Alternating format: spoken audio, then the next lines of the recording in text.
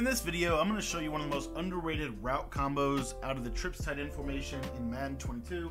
This is going to help you beat man-to-man, it's going to help you beat zone drops, it's going to help you beat match defense, pretty much any way that people are going to try to defend you in this game, this is a great route combination for.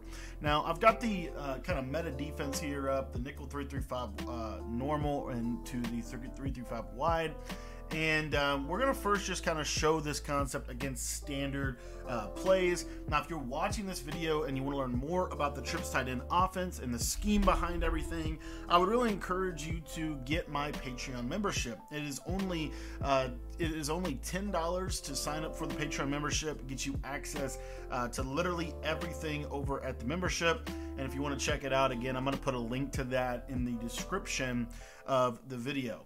Now, the play that we're going to be taking a look at in this video is the play PA slot corner, but we're going to put a little bit of a twist on how we're going to use this play to be able to beat pretty much anything that our opponent is going to try to do. So what we're going to do with this play, PA slot corner, a couple different things that you can do with this, but what I like to do is we have the play action blocking so we can actually use our tight end in routes. If you don't know, play action blocking allows you to pick up pretty much every popular five man pressure uh, in this game. You just want to ID um, this outside cornerback if they're going to try to send pressure off that side or if they're going to try to send pressure off this side, you want to ID this other corner. Now, from a setup perspective, it's fairly simple what we're going to do. We are going to want to run this with our trips tight end, our trips to the short side of the field. At least in my opinion, that's the best way to run this concept. And essentially what we're going to do here is we're going to take our tight end, and I like to put him, you can leave him on the corner route if you want to, but one of my favorite things to do with this tight end is we're just going to turn this into a mesh concept. So I'm going to drag my tight end and then all I'm going to do is motion Godwin across, and I'm going to streak Scotty Miller. And essentially, we're just going to have a high-low between these two drags and this motion over post. And what you're going to notice is this tight end drag is one of the most underrated routes in trips tight end. It used to be one of the most popular routes. This year, it's been a lot less utilized, and it is still a very, very effective route. Now, another thing that you can do if you wanted to is you could actually run a little bit of a little bit of a kind of a different nuance to the meshing concept. If you wanted to fade Mike Evans and then you want to drag Scotty Miller, you certainly can do that as well. Just kind of creates a tighter uh, meshing combination. But you'll literally see against every defense in the game, cover three, cover four, um, they basically have to hard flat to take the tight end drag away. And so what that's going to do is it's going to leave them vulnerable to this motion over post. If you take a look at this, you're going to see I can pass lead this straight up, and you see how deep this post is going to get down the field. This is one of the hidden elements of trips tight end that most people kind of sleep on, is the fact that these motion over routes are actually really, really, really good. Now, uh, I'm going to show you this against man-to-man first, and I, I think that man-to-man is one of the most popular ways that people are defending this concept. So again, real simple. What I like to do, if you're getting a lot more man-to-man, I love to fade the outside guy instead of streak the slot. And the main reason why is just because if he gets jammed, a lot of times he can get over the top of that jam. But notice again, your tight end uh, drag is very effective against this, especially whenever you motion into a 2x2 set. So the tight end drag is really one of the best plays or the best routes in this play. And then your backside, you can honestly, like I said, you can do whatever you want. So if you wanted to leave Scotty Miller on his post, that's fine. Um, I personally don't like that. That and the reason why is because they kind of create this like I don't know. They just kind of run into each other a lot, and and I mean you'll see here like it beats man, but the problem that I find with that is it makes it it's actually a hard read this year. Route combos like that to me are really hard to read because the user can kind of like run the routes into one another and basically make both of them like not very effective. So that's one of the other reasons as to why I typically will stay away from something like that. But I would be willing to say, you know, slant him. I think a slant is a really natural um, route if you don't want to use a drag because you got that drag right there, then you got that slant. But then also, if you take a look here, and Godwin just got bagged. I don't know why he got bagged so bad. Let me show you what Godwin can do for you um, against man to man. Now, if you know it's man to man, or if they're showing a man to man look, I want to give you a little bit of a pro tip with this. You'll notice that the motion snap. This is one of the bag. This is one of the um, con, I think challenges uh, with with this play is if you motion snap Godwin and they man him up or he's in man coverage, a lot of times you have to throw it kind of right there, and eventually you see how he kind of gets outran to the post. So that's a little bit problematic. So how do we stop that? The best way that I have found to stop something like that, especially if they're shading and doing all that stuff, the best thing that I have found to stop something like that is to let him set his feet and again, I like to run this to the short side, so you'll see he should be right about the numbers, right about there. And what you'll see is when he sets his feet, he gets a lot better separation um, against the against the man-to-man meta.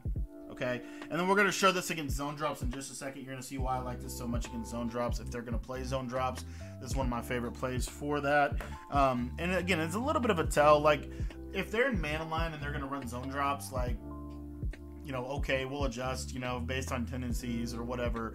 Um, but typically speaking, you know, they're gonna they're not gonna run zone drops with a man alignment. Um, but what you'll see here is that this post, um, if it doesn't beat man to man there, it can beat it on the cut. I'll show that real quick because Jaire Alexander is just crazy, crazy bagging me right now. But you'll see on the cut of this route, it will get open. And typically, they're going to have to chase, like I said, they're going to have to chase that tight end drag so much that this can be pretty effective. Um, and again, just double drags, just a little mesh post setup. If you wanted to put a Mike Evans on a comeback against man, you certainly can do that. But you'll see, like right here, like right on the cut, you're going to get this aggressive catch, and it's fairly consistent against man to man. So when their user, if you think about it, their user is going to have to chase this tight end drag. So let's say that this guy right here is their user. He's going to have to, to chase the, the tight end drag across the field because the tight end drag is so consistent against man to man. So what'll happen is their user will basically come out of the middle of the field, and then you'll see here right on the cut. Even if I wanted to motion snap that, that's going to be very consistent against um, against you know the man to man meta. Okay, so that's that's one way that you can kind of deal with the man to man stuff. Now the next thing that I want to show you is why I love this play specifically for um, zone drops, and I think this is a very good concept that you can rely on against a 30 yard cloud. So, what we're going to do is we're just going to set up a kind of the meta Mable, double Mable, 30 yard cloud defense that a lot of people like to use against trips. Um, and I think it's actually fairly decent. But when you know it's coming, it just comes down to can you find routes that get over 30 yard clouds? I, I literally think it's that simple. Um, it's been like that in Madden for years, and it's continuing to be the same. One other little pro tip here you can flat this guy, and what it will do is it'll pull all the zones to the outside. It'll help against cover two with Mike Evans. Like, there's some things you could do with that um, if you wanted to run that flat as opposed to a double drag concept. So, you see how it opens up that right there? So, you could do that. Um, you know, that's fine. Um, your tight end is going to be so effective in this play that, you know, like, let, let me show you another example here. So, let's say that they're running like the man-to-man meta, and they're going to run two purples. If you if you drag Scotty Miller, it's actually going to take him to the to the tight end. But if you don't, so you'll see here he's on a flat. Watch the see how the purple gets pulled out, and I can turn that. That's a I, I know that that's just a five yard gain, but I'm just telling you that's a really annoying five yard gain. And a lot of times you can rely on that. You can sit on that. I'm telling you, this tight end drag, I've been using it a lot lately, and it's just been very effective for me. But anyways, um, if you if you if you don't want to do that, that's fine. You can do the double drags or double slants or whatever. But what you'll see with this post is it will get over the top of the 30 yard cloud. Just pass lead it straight up on the sideline, and you see how it gets over the top of 30 yard clouds. Now, again, it's really important, in my opinion, that if you're going to run this, you want to motion snap him. You don't necessarily want him to go out wide, and I'll explain why real quick. This is why, if they're giving you a zone look, I think it's really smart to motion snap him right there because if you let him go out here, he's still open on the cut and he will get under the zone. The problem can become if you take a look, you need to throw this like right in here as opposed to where we were throwing it um, on the sideline. So the point is, um, the user can have a little bit easier of a lurk because the user can just go to the drags um, and then he can, you know, kind of come out here. Now, another little pro tip that you can use, let's say that you're trying to, you know, really get give the 30 yard or the double Mable meta a problem. This is something that they're running consistently and their user is going to sit in the middle of the field. One of the things that you can do is um, you can actually run a drag to your tight end. You're going to streak Scotty Miller and then what we're going to do with Mike Evans is we're going to put him on an underneath in route. And the reason I like the underneath in route as opposed to the drag, the drag you'll see I'll get over really quickly here. But then what it does is it leaves this route underneath that you can kind of rely on. Um, if you want to smart route it, you can if you're really worried about the purples, uh, the underneath purple zones. Most people, though, um, they're not going to have a double. And, and, and I'll show you what you can do off of this.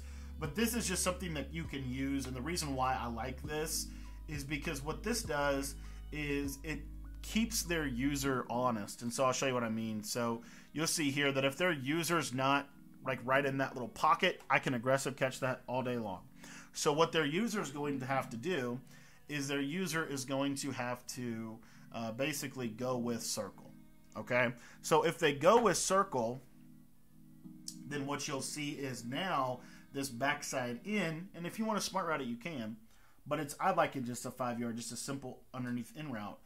The timing on this in is really good, and you'll see you can just kind of like pop it in between the zones. If you want to, you can also playmaker that route. Um, you could you could easily just simply playmaker that route, and again, that's against a drop eight coverage. Um, you know, but as you can see, very effective.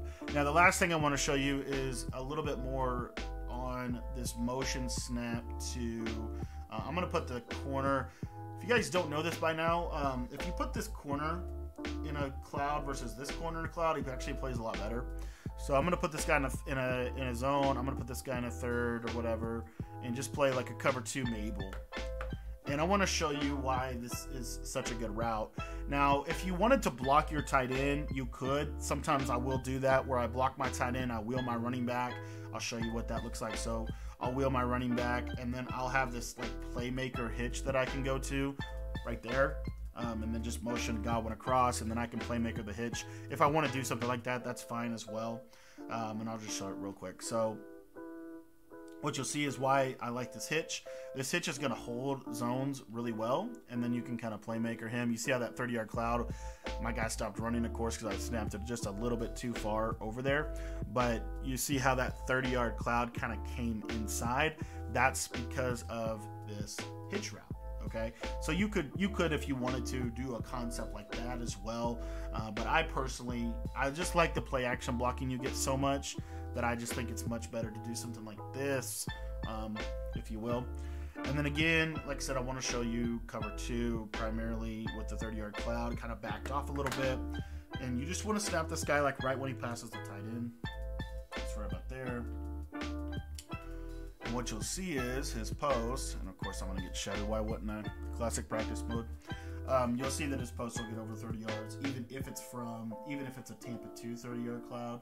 So just a and again, the sheds in practice mode are much, much more severe than the sheds in game. And you have play action blocking, so your running back will step up and pick up any pressure. So you're, you're, you're going to have time, is all, I'm, is all I'm getting at here. Anyway, what you should see here is this post. Just going to pass lead it straight up. And you see how that cloud doesn't follow him, and he goes over the top of the 30 yard cloud.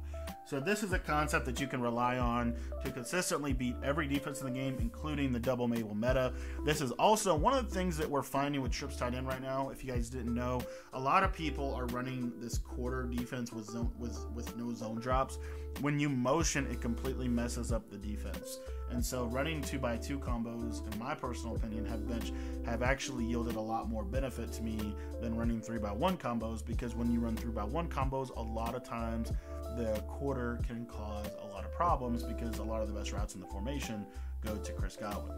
So, if you want to learn more about this offense and how to counter the meta and how to counter the way that anyone's going to defend you, how to pick up every blitz in the game, how to have an incredible balance with your offense, I would really encourage you to get my Patreon membership. Everything is in there, all of our ebooks. But what's cool about it is you don't just get our trips tight end stuff, you actually get all of our stuff that we've been building all year. Got over 25 offensive and defensive ebooks in there, and also have a ton of updates as well, just kind of weekly uh, little pro tips and things like that. So if you want to get access to that, that'll be linked down in the description. It's only $10 to sign up for that. Um, and it gets you everything, get you the trip stuff, get you the bunch stuff, get you all of that. So thanks for watching, and uh, we'll see you guys next time.